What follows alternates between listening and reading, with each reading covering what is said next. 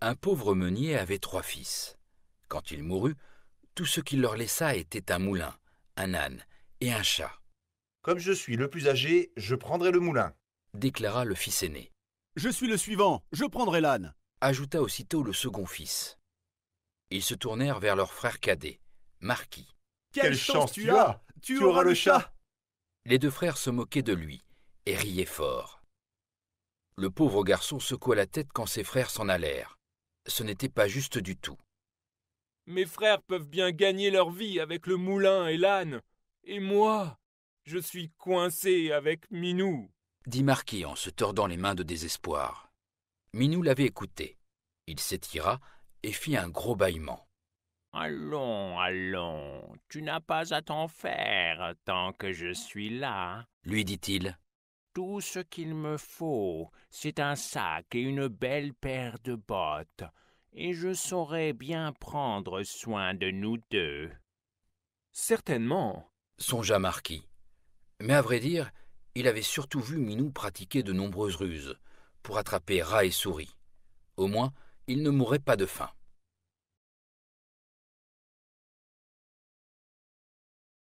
Notre père nous a légué quelques biens en héritage. Je ne peux m'empêcher de penser qu'il n'a pas partagé équitablement. Te souviens-tu de ce que j'ai eu? Mon père m'a laissé ce chat. Qu'est-ce que je suis censé faire avec lui? Tu n'as rien à faire avec moi. Un chat qui parle? Je t'ai vraiment entendu parler ou bien j'ai rêvé? Mon cher maître, ne crois pas que je sois inutile. Attends de voir ce que je peux faire et tu seras heureux que je t'appartienne. Comment puis-je être heureux alors que je n'ai rien d'autre qu'un chat? Tu vas bientôt comprendre. Mais d'abord, peux-tu me trouver un sac et une paire de bottes? As-tu oublié que je n'ai pas d'argent? Regarde ici si tu peux trouver un sac. Puis on ira voir le cordonnier pour qu'il te fabrique une paire de bottes. Merci, c'est exactement ce qu'il me faut. Maintenant qu'on a un sac, allons chercher une paire de bottes chez le cordonnier. Tu as trouvé un sac Tu es un petit malin. Viens, on va voir le cordonnier. Je lui paierai les bottes plus tard. Oui, c'est la boutique du cordonnier. Ici, je peux avoir mes bottes. C'est la dernière paire de bottes que j'ai. Puisse-t-elle te porter chance Merci. Ces bottes me vont parfaitement.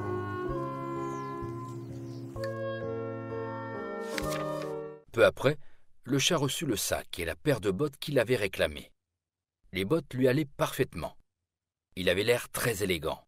Minou fourra un beau chou et un peu de son dans le sac, et le jeta sur son épaule. Puis, il lissa ses moustaches et sortit. Il se rendit tout droit en un lieu où il y avait beaucoup de lapins. Il avait un bon plan en tête. Minou ouvrit tout grand le sac et se cacha derrière un arbre. Bientôt, un lapin arriva en sautillant. Il vit le chou et bondit droit dans le sac. Ouch Plus rapide que le vent, Minou attrapa le sac et le ferma avec une corde. Avec le lapin dans son sac, Minou se rendit tout droit au palais du roi. Il se présenta avec le lapin, en s'inclinant bien bas. Votre Majesté, déclara le chaboté d'un ton royal. cet humble cadeau vous est offert par mon maître, le seigneur marquis de Carabas. C'était là le nom fantaisiste que Minou avait choisi pour son maître. Quel gentil cadeau s'écria le roi qui adorait le lapin grillé. La fois suivante, Minou réussit à attraper un couple de perdrix, qu'il apporta également au roi. C'est merveilleux. Dis à ton maître que je suis très content. dit le roi qui adorait encore plus le ragoût de perdrix. Cela continua ainsi pendant deux mois. Minou devenait un expert pour attraper du gibier, et le roi se faisait grassouiller.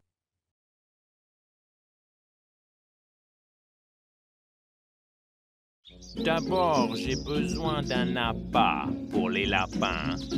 Qu'est-ce qu'ils aiment, les lapins, d'après toi? C'est exactement ce qu'il nous faut. Aucun lapin ne peut résister à l'odeur d'un bon chou frais. Tiens-toi prêt. Quand le lapin s'approche, attrape-le. Tu l'as eu. Merci pour ton aide.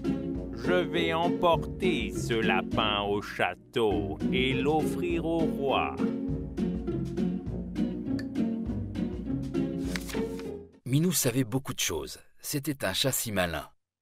Par exemple, il savait exactement quand et où le roi partirait se promener en calèche avec sa fille. Je pense que Marquis et moi devrions sortir faire un tour aujourd'hui. Songea Minou par un beau samedi ensoleillé. Minou emmena Marquis au bord de la rivière et s'adressa à son maître. Aujourd'hui pourrait bien être ton jour de chance. Si tout se déroule comme prévu, tu vas faire fortune. Clip clop clic clang. Minou entendit le bruit d'une calèche qui s'approchait. Tous deux scrutèrent au loin. C'était la calèche du roi. Qu'est-ce que je dois faire? demanda Marquis prêt à obéir. La nourriture que Minou apportait chaque jour l'avait rendu plus heureux. Va te baigner dans la rivière. Je m'occupe de tout le reste. déclara Minou. C'est tout? S'étonna Marquis. Il enleva ses habits et plongea aussitôt dans la rivière. Plouf Minou alla vite cacher les vêtements de son maître derrière un rocher.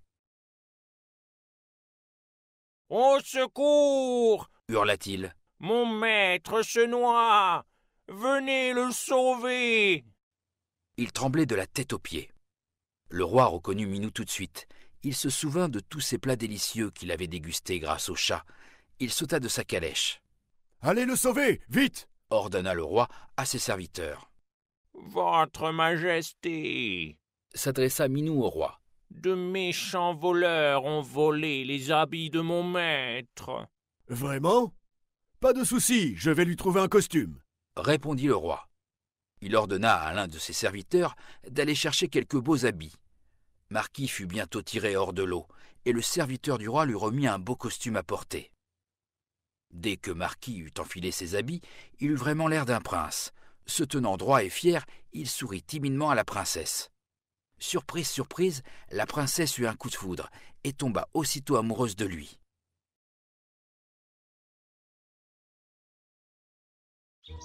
Maître, j'ai une bonne idée. Tout ce que tu as à faire, c'est d'aller te baigner dans la rivière. Je m'occupe de tout le reste. Bon, d'accord, c'est facile. Pendant qu'il se baigne, je dois cacher ses habits. Vois-tu un bon endroit où on pourrait les cacher? Oui, c'est un bon endroit pour les cacher. La première tâche est faite. Maintenant, nous devons attendre le roi. Peux-tu voir son carrosse? Cocher, arrête-toi Quelqu'un appelle au secours Au secours Aidez-moi Votre Majesté, je suis le chat beauté. Vous vous souvenez de moi? Mon maître a décidé de se baigner. Il est allé dans un endroit profond, mais par malheur, il ne peut pas revenir. Ah, je me souviens de toi. C'est toi qui m'as apporté des cadeaux, hein? Attends, on va sauver ton maître. Oh, merci. Sauvez le marquis de Carabas, s'il vous plaît. Je dois vite le sortir de l'eau. Mais il me faut un bâton. Où pourrais-je en trouver un? C'est tout à fait ce que je veux. Merci pour ton aide.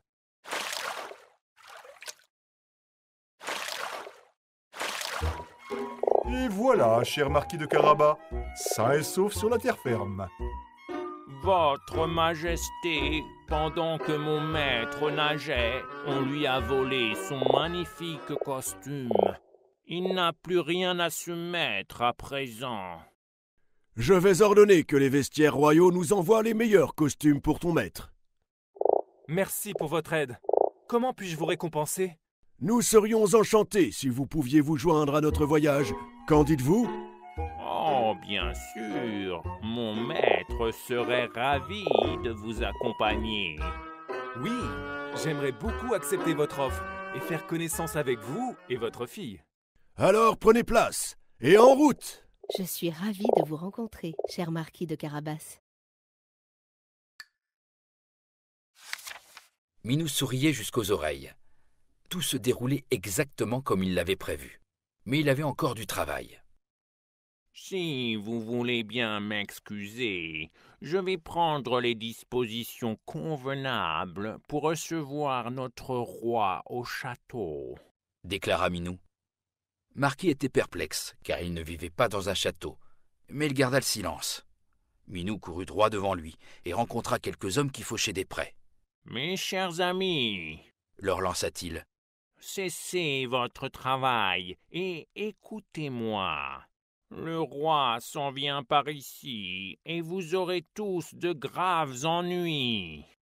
La seule façon de vous en sortir est de dire que ces prés appartiennent au seigneur marquis de Carabas. Les faucheurs regardèrent Minou avec étonnement. Ils prirent peur. Ce seigneur marquis doit être très puissant, pensèrent-ils. Par prudence, ils acceptèrent de faire exactement ce qu'avait dit le chat. Minou reprit sa route et vit quelques hommes et femmes qui moissonnaient du blé dans un champ. Mes chers amis, Leur lança-t-il. Vous moissonnerez plus tard. Pour l'instant, écoutez-moi. Le roi s'en vient par ici, et il vous transformera en chair à pâté.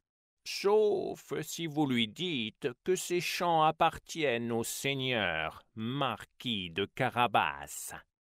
Les moissonneurs étaient très étonnés, mais ils ne voulaient surtout pas être transformés en chair à pâté. Ils promirent de dire au roi que les champs n'appartenaient à personne d'autre que le seigneur marquis de Carabas.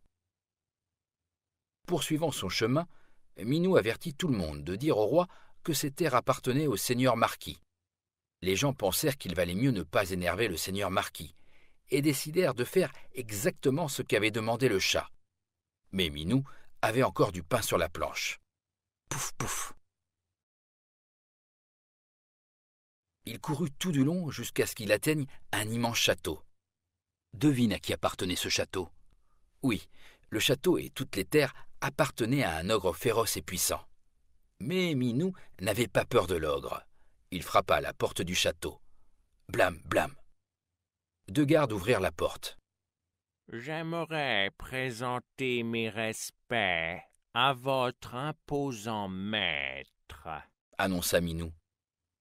Les gardes savaient que l'ogre aimait quiconque l'admirait, aussi laissèrent-ils entrer Minou. Celui-ci s'inclina bien bas devant l'ogre. J'ai entendu plein de choses sur vos grands pouvoirs. Est-ce bien vrai que vous pouvez vous transformer en n'importe quel animal, demanda Minou. même en lion Regarde bien Répondit l'ogre. Sous les yeux de Minou, il se transforma en un puissant lion. Il rugit si férocement que Minou grimpa dans les rideaux de frayeur. L'ogre éclata de rire, C'est incroyable. dit Minou. Mais je parie que vous ne pouvez pas vous changer en une petite créature. Ce doit être la chose la plus difficile au monde. Si je peux. répondit l'ogre. Non, non, ce doit être impossible pour un ogre aussi fort de se transformer en quelque chose comme, par exemple, une souris. Avança Minou. Ah, euh, vraiment? Rétorqua l'ogre qui claqua des doigts. Boum L'ogre devint une minuscule souris qui détala à travers la pièce. Vif comme l'éclair, Minou se jeta sur la souris et la dévora d'une seule bouchée. Gloup Minou se pourlécha les moustaches, puis il tapa trois fois dans ses mains et rassembla tous les gens qui vivaient au château. L'ogre n'est plus. Leur annonça-t-il. Accepterez-vous le seigneur marquis de Carabas comme votre maître? Il est juste et gentil, bon et généreux. Les gardes, bonnes cuisiniers serviteurs, et tous les gens du château regardèrent Minou avec surprise. Mais ils acceptèrent aussitôt. Ils n'avaient jamais vraiment aimé l'ogre de toute façon. Minou ordonna à tous de préparer un grand festin pour le seigneur marquis et son invité très particulier, le roi lui-même. Le carrosse amenant le roi, la princesse et mon maître sera bientôt là. Je dois réveiller l'ogre tout de suite. Quoi? Qui m'a réveillé. Le chat Qu'est-ce que tu fais ici? Comment oses-tu me déranger? On m'a dit que vous étiez un maître en magie et que vous pouviez vous transformer en n'importe quel animal. C'est vrai? Euh, Bien sûr que c'est vrai. Je peux te le prouver si tu as le moindre doute. J'aimerais bien voir ça. Vous pouvez le faire. Changez-vous en lion, s'il vous plaît. Pas de problème